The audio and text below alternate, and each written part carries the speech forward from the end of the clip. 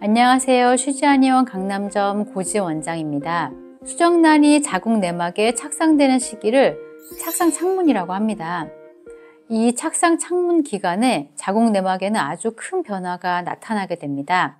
생리 주기를 기준으로 했을 때 19일에서 한 20일째가 되면 분비 기능이 왕성해지면서 분비선의 내강으로 분비 물질이 나오게 됩니다. 그리고 생리 21일에서 22일 경에는 자궁 내막의 기질에 부종이 일어나게 됩니다. 그래서 모세혈관의 투과성이 증가되고 성 스테로이드 호르몬과 프로스타글란딘 그리고 에스트로겐, 프로게스테론의 매개로 생성되는 자가분비 인자와 측분비 인자 등에 대한 반응이 나타나게 됩니다. 그리고 생리 23일째 정도에는 나선형 소동맥이 현저하게 간질을 나타나게 됩니다. 이렇게 착상 창문이 열리는 시기에는 자궁 내막 조직의 내부는 계속 성장하지만 그 구조 안에 갇혀져 있기 때문에 나선형 혈관들이 더욱 그 모양을 꼬는 형태를 보이게 됩니다. 자궁 내막의 분비물은 분비선 세포로부터 분비되는 당 단백질 그리고 펩타이드 외에도 혈장으로부터 누출액이 있고 혈액 중에 중요한 면역글로불린 등이 자궁 내막의 상피세포에 분비되는 단백질과 결합해서 자궁 내막 강으로 전달됩니다.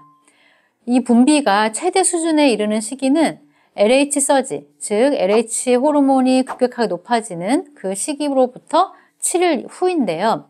이때가 포배기 배아의 착상이 시작되는 것입니다. 이렇게 잠깐 며칠간 열리는 착상에 유리한 그 기간이라고 해서 착상 창문이라고 부르는 것입니다. 따라서 이 타이밍에 포배기 배아가 자궁 내막에 딱 있어야 착상될 확률이 타이밍적으로 높아지게 되는 것입니다. 그런데 과배란 등의 호르몬 요법을 하게 되면 착상 창문이 열리는 시기가 바뀔 수가 있습니다. 이 바뀌는 시기를 정확하게 측정해서 이식하지는 못하고 있는데요. 만약 이식하는 시기보다 착상 창문이 일찍 닫혀버리면 이식을 여러 번 하더라도 반복적 착상 실패로 이어지는 경우들이 있습니다. 그래서 일부 의사들이 요새는 한 주기에 한 2, 3일 정도 간격으로 이식을 두 번 시도해 보는 경우도 있었습니다. 하지만 아직 유의하게 성공률이 막 높아지진 않아서 이 부분에 대해서는 앞으로 더 연구가 필요하겠습니다. 또 이와 관련해서 ERA 검사가 있습니다. 자궁 내막 수용성 분석 검사인데요.